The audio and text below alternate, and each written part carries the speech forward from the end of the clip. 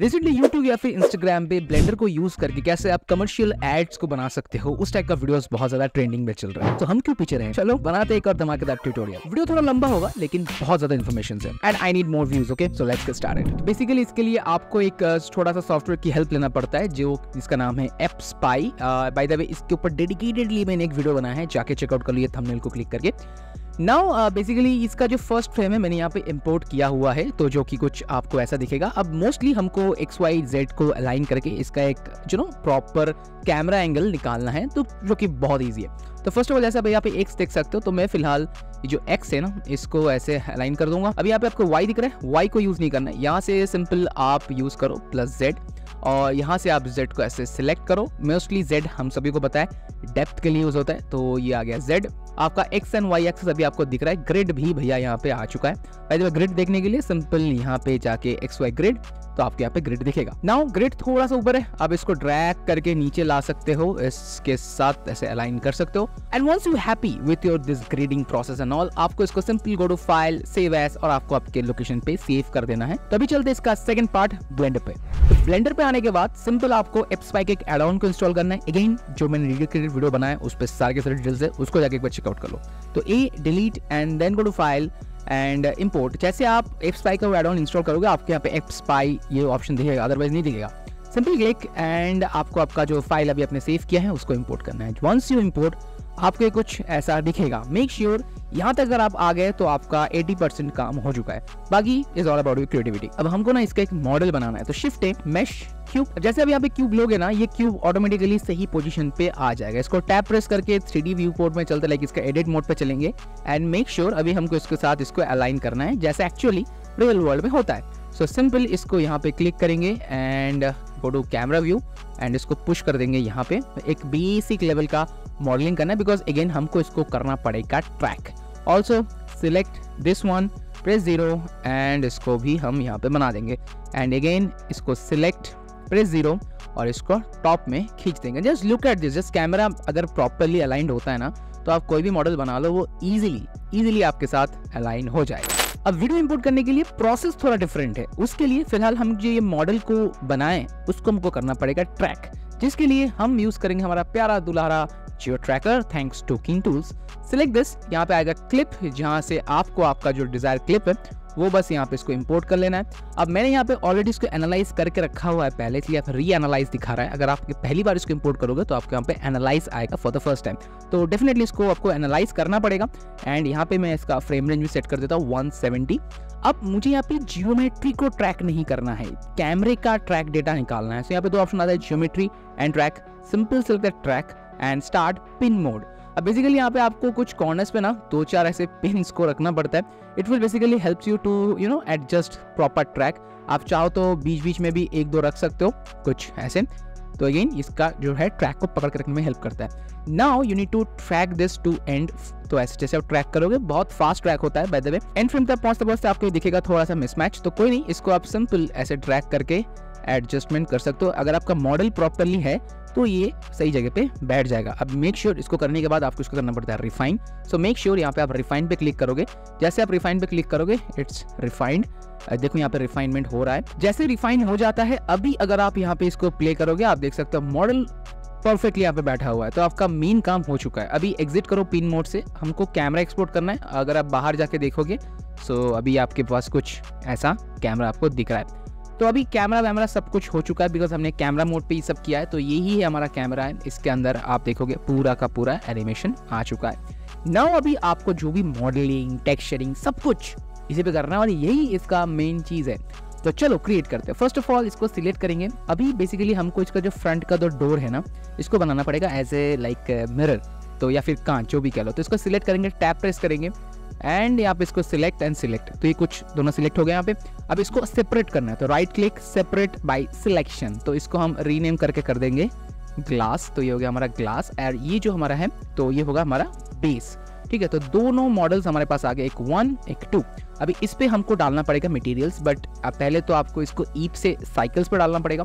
CPU से GPU because ये बहुत ज़्यादा लोड लेगा. Now select this go to material अभी एक यहाँ पे न्यू पे जैसे हम क्लिक करेंगे, यहाँ पे लिख देंगे ग्लास नाउ ग्लास का मटेरियल बहुत सिंपल है यहाँ पे. तो सिंपल सर्फेस पे क्लिक करो. यहाँ पे आता है glass B S D F simply select और ये आपका ग्लास का मटेरियल बना के दे देगा. ना जैसे आप यहाँ पे क्लिक करोगे ना ऑटोमेटिक आपको यहाँ पे कुछ ऐसा दिखेगा. नाउ नीड एनवायरमेंट तो simple go to environment texture open और यहाँ पे मेरे पास एक बेसिक्स का स्काई है तो मैं डाल दूँगा। तो अभी आपको फ़िलहाल ये कुछ ऐसा दिख रहा है। डजेंट मैटर हम थोड़ी देर में इसको फिक्स कर देंगे। Now simply select the second model और यहाँ पे भी हम एक पीस जो है इसका बनाएँगे।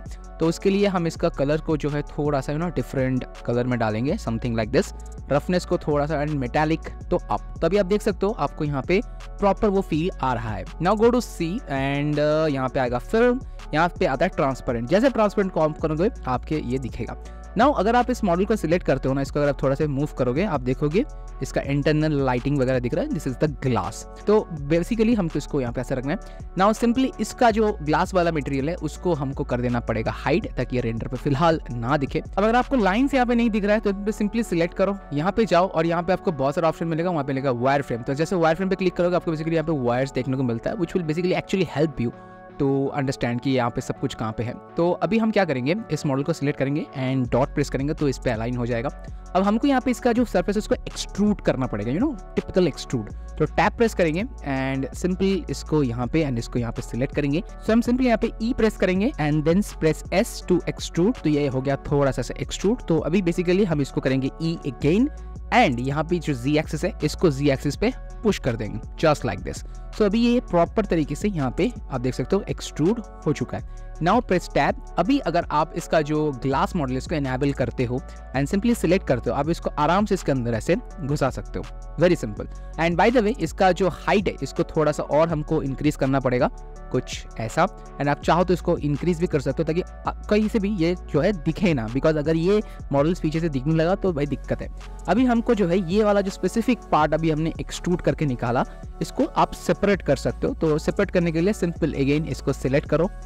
जस्ट लाइक दिस तो ये हो गया select and now right click separate by selection and once again ये वाला जो पार्ट अभी आपने एक्सट्रूड करके निकाला दिस वन इसको हम नाम दे देंगे होल्ड आउट ठीक है? अभी अगर आप यहाँ पे चलोगे एंड गो टू दिस आपको यहाँ पे ये प्रॉपर दिख रहा है. Now simply select this model go to this one and visibility यहाँ पे आता है holdout simply click this holdout तो ये दिखेगा नहीं.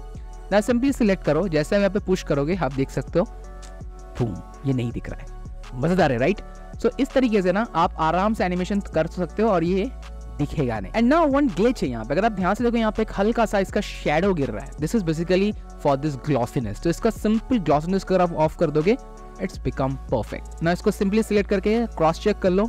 यस इट्स वर्किंग परफेक्टली अब बारी है इसमें इसको एनिमेशन देने का। तो फ़िलहाल दस लाइक 15 फ्रेम तक कोई चेंजेस नहीं होना चाहिए। ना हम यहाँ पे की फ्रेम डाल देते हैं। तो इसके बाद जैसे ही थोड़ा सा आगे जाएगा समथिंग लाइक 30 फ्रेम्स ये पूरा ऊपर चला जाएगा and it will hide and now make sure इसका जो की फ्रेम है, यहाँ पे इसको interpolation mode make it to Bezier so now अगर आप इसको चेक करते हो in normal mode and play and boom it's hide okay तो यहाँ तक हमारा एनिमेशन इज़ डन नाउ बारी है हमारा इसका इंटरनल एनिमेशन डालने का। नाउ हम यहाँ पे यूज़ करेंगे एक क्लॉक जो आता है हमारे ब्लेंडर किट से। आप कहीं से भी डाउनलोड कर सकते हो तो मैं यहाँ पे एक वॉच एंटर मारता हूँ।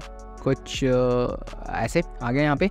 तो ये आ गया हमारे पास घड़ी। अल्फ़ा का है, बहुत सही है। और लाइटिंग के साथ बहुत दही से मैच भी कर रहा है। तो इसको सिंपल आप सिलेक्ट करो एंड स्केल अप कर दो अपने सीन के हिसाब से।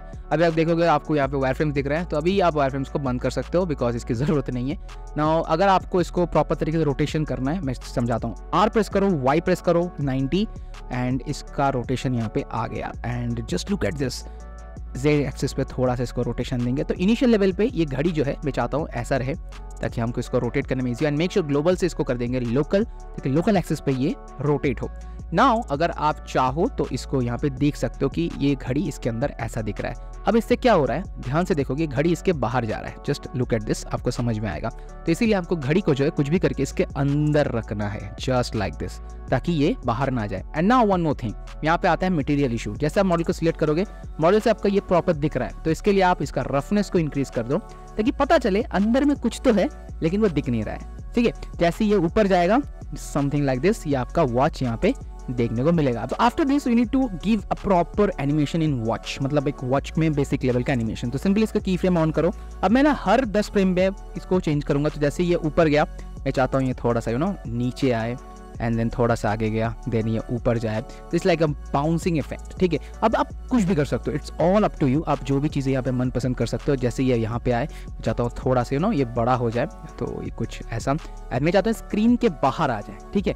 जो कि एक्चुअली विजुअली बहुत ज़्यादा अपीलिंग लगता है जस्ट लाइक दिस एंड यहाँ पे पहुँचते पहुँचते इसको छोटा कर दूँगा। बिकॉज़ अभी इसका जो शेड है, वो ढक जाएगा एंड इट विल डिसअपियर ठीक है, यहाँ तक हो गया। इसको फ़िलहाल मैं ऑफ़ कर देता हूँ। अभी बारी हमारा जो ग्लास है, उसको सिलेक्ट करना। एंड जैसे ही ये यहाँ से छोटा हो रहा है, मैं चाहता हूँ वो ग्लास बंद हो जाए। तो सिंपली सिलेक्ट यहाँ पे आपको देना पड़ेगा एक की फ्रेम जस्ट इंसर्ट अ की फ्रेम एंड जैसे ये छोटा हो रहा है it back to normal space somewhere here so अब अगर इसको प्ले करते हैं लेट्स सी कैसा दिख रहा है. And one two three basically आप कुछ भी एनिमेशन यहाँ पे डाल सकते हो. It's all up to you animation को जितना परफेक्ट करोगे एड्स उतना अच्छा दिखेगा. अब इसके होने के बाद आपको बेसिकली इस पार्ट्स को ढकना पड़ता है, जो कि बहुत ज़्यादा इंपॉर्टेंट स्टेप है यहाँ पे. वो भी बहुत सिंपल है, मैं आपको दिखा देता हूँ. तो फ़िलहाल यहाँ पे चलो. यहाँ पे लाइक बैक पे चलेंगे. And shift A mesh and let's add a cube and make sure cube को हम बड़ा कर देंगे। तो अभी बेसिकली ये होगा हमारा kind of a hold out भी आप इसको कह सकते हो। एंड जैसे ये प्रॉपर तरीके से बैठ जाता है, आपको सिंपल इसको सिलेक्ट करना है, इसको रेंडर मोड पर डालता हूँ। अभी ये कुछ ऐसा दिख रहा है simple go to here and जैसे मैंने दिखाया था होल्ड आउट होल्ड आउट कर दो तो ये लगेगा। इसके पीछे है। So yes guys I hope आपको ये एड वाला वीडियो पसंद आया। मैं भी ट्रेंडिंग में आ गया हूँ। अगर आप भी मेरे साथ जुड़ना चाहते हो तो इंस्टाग्राम में जुड़ सकते हो और ऐसे वीडियोस बना के टैग कर सकते हो। पसंद आया तो मैं उसको डेफिनेटली रीशेयर करूँगा। And thank you for watching V F X world support करने के लिए बहुत बहुत शुक्रिया। मिलते अगले वीडियो में। तब तक के लिए बाय